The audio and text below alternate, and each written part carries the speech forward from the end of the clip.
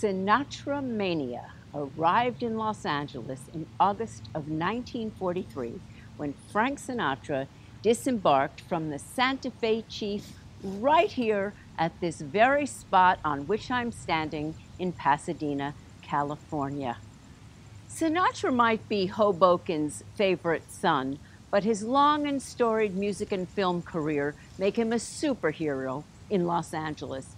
In fact, every establishment he ever frequented in the city of Los Angeles pays homage to his legacy.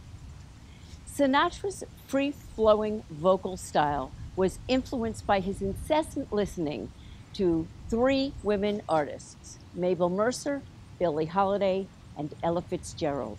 But his ability to hold a note longer than anybody else, that was the result of his scientific study of Tommy Dorsey's trombone playing.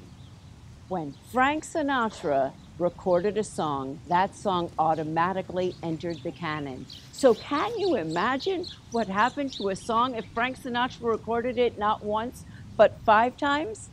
The answer is all of me. Please welcome MUSE/IQUE's Leah Zeger and Ira Gonzalez.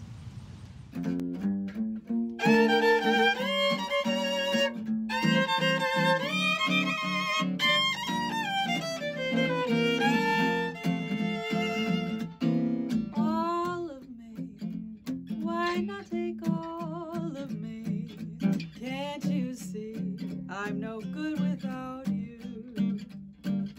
Take my lips, I wanna lose them. Take my arms, I'll never use them. Your goodbye left me with eyes that cry. How can I go on, dear, without you?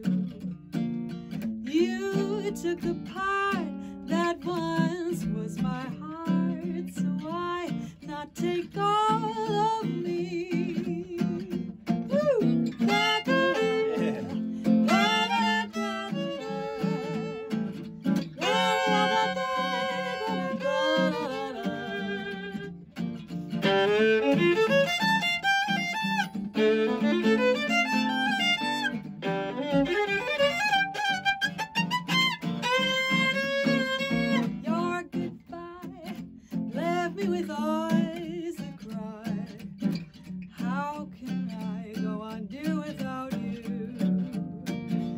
you.